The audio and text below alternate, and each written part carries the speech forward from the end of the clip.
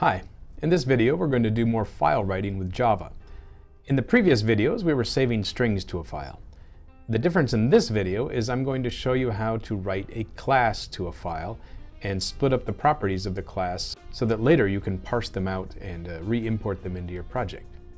So let's start with this uh, program that we have in front of us here and I'm going to refactor it. So the first thing is to comment out these famous sayings or you could delete them.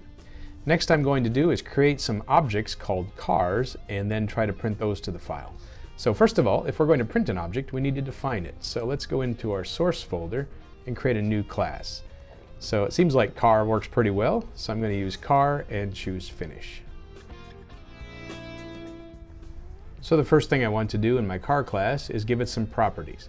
So I want to use an integer, some strings, another integer, and a double. So we'll use year, make, model, and odometer, and engine size.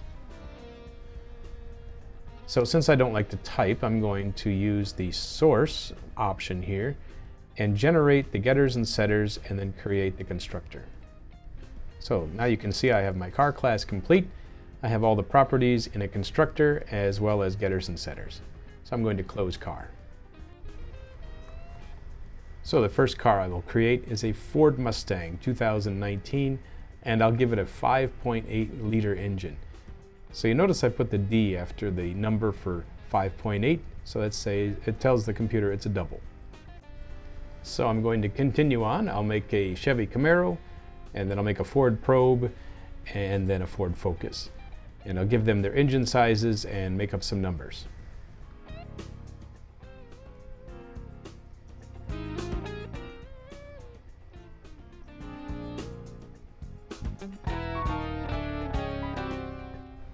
So I'm next going to define an array. So let's call it uh, type car, and the name is cars array, and I'll set the limit to be four items. Next I will place each of the cars into the array. So car 1 goes into slot 0, up to car um, 4 goes into slot 3. And so the cars array is ready to go. Next I'm going to create a loop. And so I want to go through each item in the cars array. So the for loop goes from 0 to the length of the cars array. So the next item is I'm going to create an output text variable. It's a string, and I'm going to concatenate every property of the car. And uh, I'm going to put the pipe character in between them. So the pipe character is on your keyboard right above the return key. It's a vertical line. It's useful because it hardly ever occurs in normal English, and we're going to use it later to split up these lines and interpret an input file. So using this as a de delimiter is a great way to separate the fields of every object. So the next statement that I'm going to create is save to file. And remember the uh, properties of save to file include first of all the file name. So I'll call it cars list.